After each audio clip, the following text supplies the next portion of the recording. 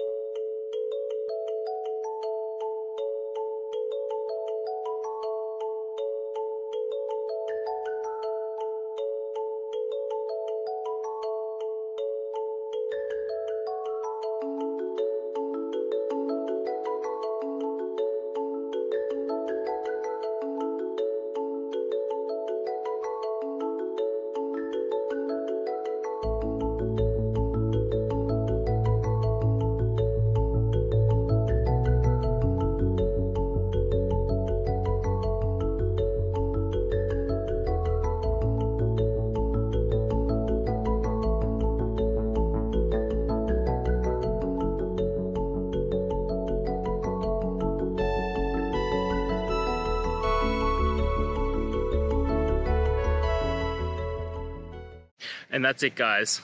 We've gone through. I hope you found your resolution and found the answer you're looking for. If it helped, please hit subscribe. Really appreciate it.